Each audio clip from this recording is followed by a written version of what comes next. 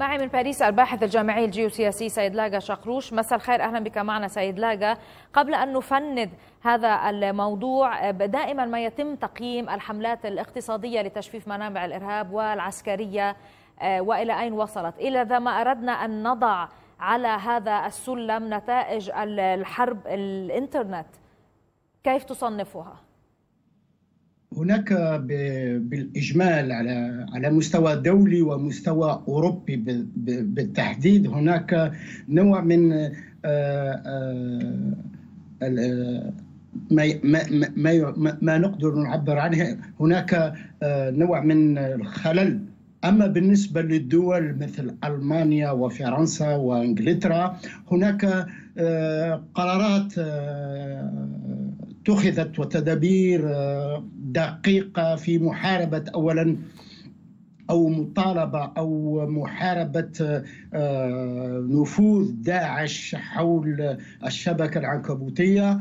هناك كذلك عدة قوانين كثيرة بما فيهم الآن مثلا في فرنسا هي الخروج من من آه، حالة الاستنفار إلى تدابير في القانون العام لمحاربة آه، آه، نفوذ ودعاية وتمويل عبر الشبكة لأن الشبكة العنكبوتية الشبكة آه، الإلكترونية هي أساس ووسيلة التجنيد والدعاية والتمويل لداعش.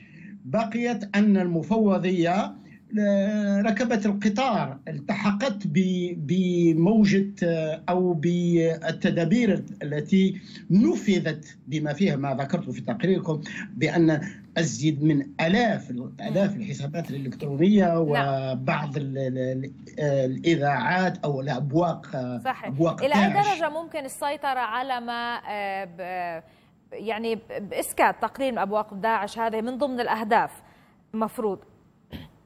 عفوا. إلى أي درجة ممكن السيطره على ما تم أصلا وما استفادت منه واستغلته الجماعات المتطرفة على مواقع التواصل؟ سيتم آه، إلغاء كل المحتوى الإرهابي وفق شركات عالمية طبعا فيسبوك تويتر ومايكروسوفت. ولكن آه، ما تمكنت من الوصول إليه للأسف. إلى أي درجة ممكن المساهمة على الأقل في تخفيف ضرره؟ تفضل. على مستوى الدول آه، آه، تفطنت الدول في بداية من 2015 كل الدول آه، بما خص الدول الكبرى في أوروبا تفطنت إلى الضرر وكي وقوة التجنيد والتمويل والدعاية لداعش.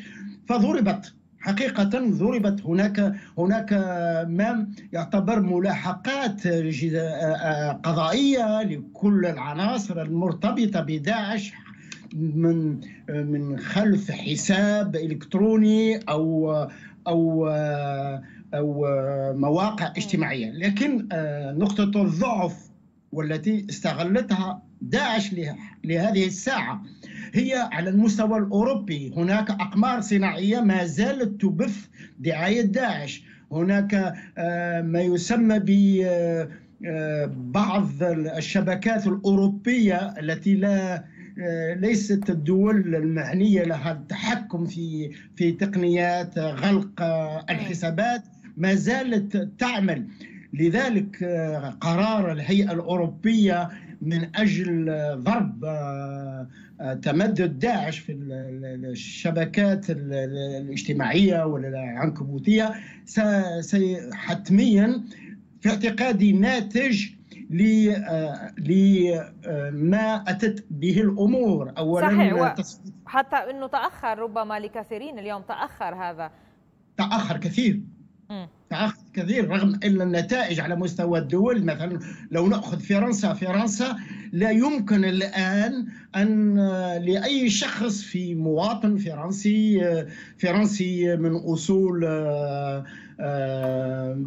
إسلامية أو غير إسلامية لا يمكن له أن أن يكون له الارتباط مباشرة من من آه، الشبكة الفرنسية لكن يمكن له أن يخرج من الشبكة الفرنسية بشبكات دولية أو شبكات أوروبية الآن أتى القرار من أجل غلق آه، النافذة الأوروبية لماذا؟ لأنه بات باتت الجماعات الإرهابية على حافة الانهيار الحقيقي فأرادوا بقطع هذا حتى على بوجود على الإنترنت.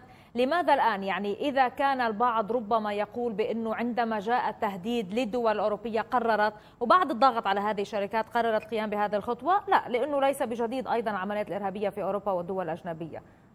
لا القضية متعلقة بحقوق الإنسان. لو نأخذ مثلا أعطيك مثال بسيط هي قضية آه، قوائم المسافرين أو الطائرات في بعض البلدان اتخذ القرار بأن لابد من جعل متابعه متابعة المسافرين مثلا من فرنسا إلى إلى إلى تركيا إلى إلى إلى, إلى الأماكن المتواجد فيها داعش من الرقة والموصل، لكن المفوضية ترفض لأسباب حقوق الإنسان وكل المواطنين لهم الحق أن يعرفوا وأن لا يعرفوا، أن يتصلوا وأن لا يتصلوا، فهذا الجدل الذي دام لمدة سنتين ضرة و... صحيح الحفاظ على الأمن والخصوصية الحفاظ على خصوصية آه خصوصي. من. ليس له علاقة صحيح هذا هذا هو هذه الإشكالية بما ذلك أن القرار بالنسبة بالنسبة للمفوضية هو قرار جماعي آه، يلزم الدول كل الأعضاء